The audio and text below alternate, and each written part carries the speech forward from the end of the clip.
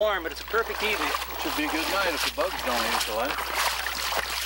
You know, as the sun goes down in a river like this, one of the most formidable and elusive of all the predators in fresh water goes on the prowl. Talking about the flathead catfish. More elusive even than the muskie. Fewer people have caught bigger flatheads, or big flatheads, than have actually caught muskies. And talking about size in a fish, the modern day uh, hook and line record is 100 pounds, but there's pretty good indication that the old days, and maybe even still yet today, there were fish of 150, maybe up to 200 pounds.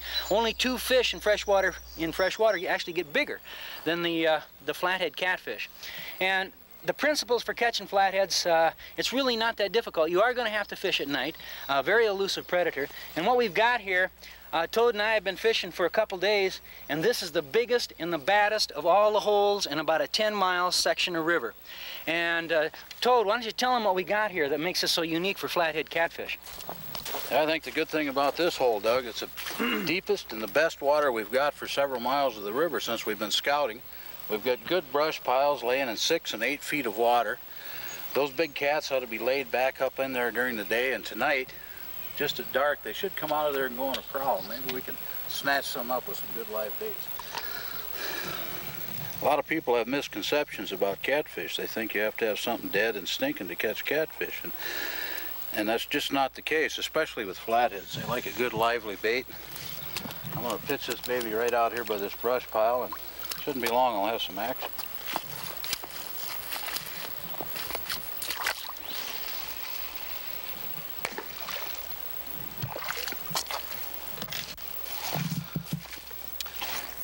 Now I don't have a clicker on this reel, so what I like to do is use a rod holder, lay it in there like this, put it on free spool.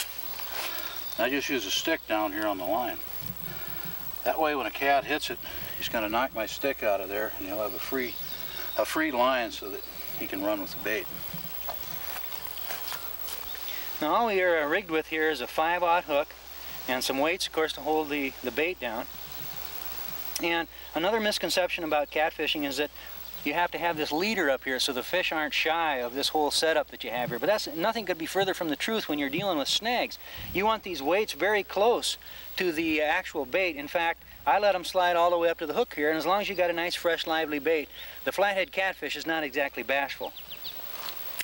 So we're going to pitch this one out right in front of this snag area here also. And I want you to notice the kind of tackle that I'm using. You know, if we're talking uh, small channel cats during the daytime, almost any kind of tackle will, will work, but we're talking the same kind of tackle that I use for muskies. And 36 pound, you know, at least 30 pound test, probably 36 and up to 40 pound test line, you are going to have to put the meat to the fish when they grab the bait. Uh, now the rigging that I use here is to set in the rod holder just like Otis is, but I've got a clicker on this, and so I put the reel and free spool and set the clicker and that keeps constant tension and, and when the cat takes the bait you're going to hear it.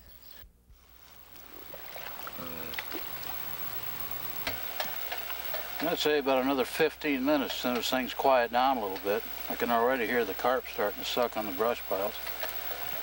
Then we'll get a little action. Yeah, fishing for flatheads is pretty much a nighttime affair except for early in the season and maybe way late in the year. But it's not fast. That's Unfortunately, it's not fast. It's fishing for big fish. Sometimes it's an all-night affair. Yeah, one thing about it, we get plenty of time.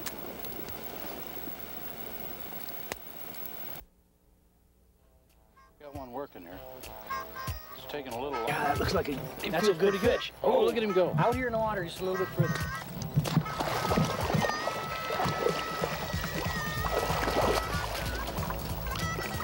Fish, Toad. You back. There we are. You're going to have to come out here and get him. Too bad, Too bad of a fish. Oh, he'll go about 15, 18 pounds. See if I can get a hold of his jaw. Well, I got both hands full here with the flashlight. Still hold still. Ah, right down in here. You bet. Oh, you bet. Ah! Uh-huh. Another dandy. Yeah? What? I just wonder how many of them are in this about, hole. About seven pounds, wouldn't you say? Yeah, he's at least seven. His head weighs 7 mm -hmm. what, 15? Yeah, I would say a good 15 or so. Pretty fish. Should really we do turn him loose? Uh, yeah, let's. I got that other one for still photos. Boy, we'll tough skin.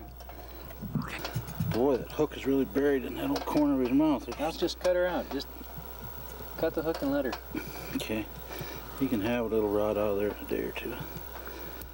Well, I won't hurt him a bit. No. Here, let him go.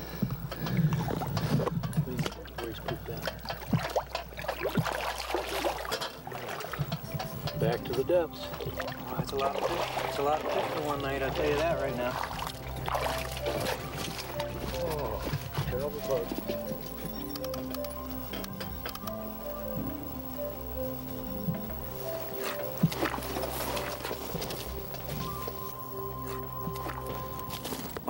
Doug, I think a lot of fishermen, cat fishermen, make the mistake. When they come to a river, they just fish the first hole they come to. Oh, absolutely. You know, we know a, about a nine mile section of river here, and this is absolutely the biggest and the baddest, I'm talking the deepest hole in this section. And we've got a five mile straight section above us, and all the timber from up there is blowing into this big corner here. This is an exceptional hole. It's just not any hole that you might come to. Do you think that these cats are going to just live in this hole, They're just going to stay in this hole, or do you think they're going to go up or downstream to other holes? Well, when the, when the water's down like this, the fish are going to get in a big hole like that. They're going to stay here. Now, if the water comes up, they might move around a little. But for right now, we've got a resident population of catfish almost trapped right in this hole because of the low water. Well, as long as we keep our place, baits placed just right, it's just a matter of time. Then we should get some action. Absolutely. Pretty good chicken, eh? Bite? I don't know. I mean, look. Toad! Toad! That's a that's a flathead catfish. Toad!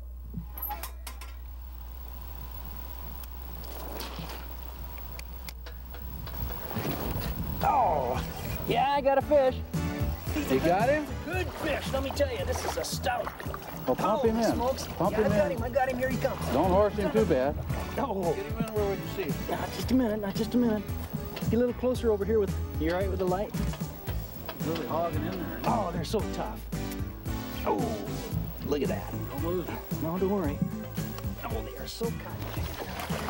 Oh. He's a Dan. Oh,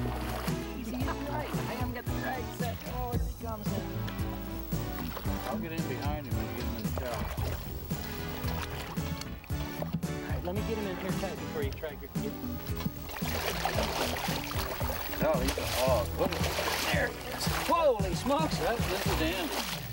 Wait now. Can You get him by the lip? Oh, I can get him right here. Whoa, now we're talking flathead catfish, huh? That is a dandy. Oh, that is some fish. Look at there. Boy, look at the head on that Huh? baby. That We've fish got to is- keep him for some still shots later. All right. Well, that fish is 37. I'm guessing 37 inches long. 25, 26, maybe 27 pounds. I don't know. Yeah, I tell you what, go, go get me that keep sack there. I want to put him in there. I want to get some a few shots with Okay. him pretty soon. Oh, that is some kind of critter, huh? Holy smokes! Look at that. Whoa!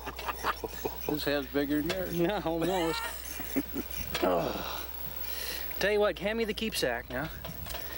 And I'm gonna. There, we'll just slide him in right head first like this.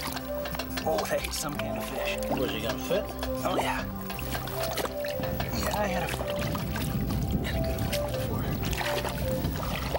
There we go. I'll get him drug out and Huh? I'll drag him out. some- That surprises me. This is a small river. I really didn't think we'd get one that big. I told you. Yeah. Ooh, that's hot there. You know, I think Doug, once a guy's found the place to fish, I think the real key is having good bait.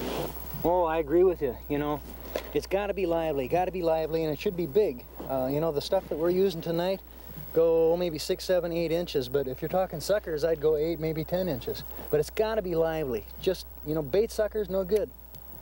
Oh, there goes my stick.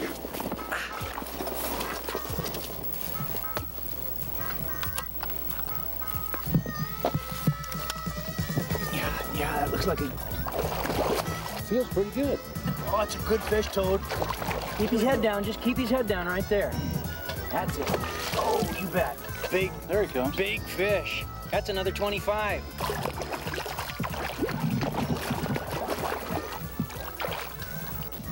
Yeah, he's coming. Okay, okay, go ahead. so I can get a better grip. Look at the size of that mouth. Oh yeah, another good fish. You bet. He's as big as the last one. He's a little skinnier though. He's not quite as heavy as that big one. You know, He's the, dandy. I don't know how many pounds of fish we got out of here tonight, but the whole point is, is that this is just not an average hole. We've been up and down the river looking things over. It's taken us a couple days, but it's really paid off. Location is half the key, then of course the good live bait. That's a beautiful fish. Should we turn him loose? Well, how big are you guessing first here?